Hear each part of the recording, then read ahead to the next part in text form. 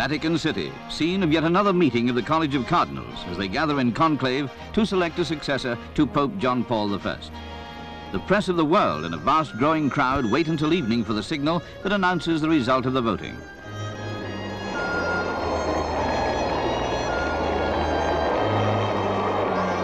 A pope has been elected.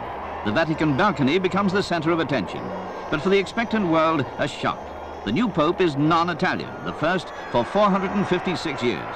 He's Cardinal Karol Wojtyla, the first pope from a communist country. He names himself Pope John Paul II and blesses the crowd. After the initial surprise at the Sacred College's choice, the Catholic and non-Catholic world is overjoyed.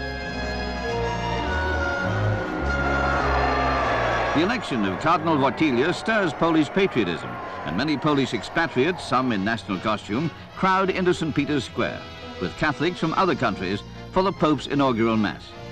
The appearance of Pope John Paul II is greeted with quiet emotion. Many see the elevation of an Iron Curtain candidate to the papacy as a sign of hope for millions of Christians under communist persecution. Cardinal Wojtyla is known to be a man of warmth and intellect, having at his command several languages.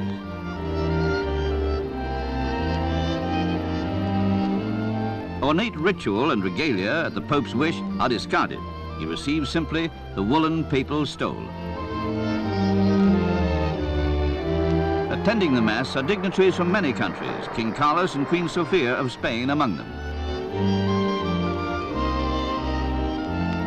Pope John Paul receives the cardinals in turn, a word and an embrace for each of them. To many Catholics, the departure from centuries-old staid protocol signals a resurgence of religious fervor, especially among the young. Indeed, in his address to the Assembly from the Vatican steps, His Holiness directs his words to youth, calling them the hope of the world. Britain opens its arms to the boat people of Vietnam arriving at Stansted from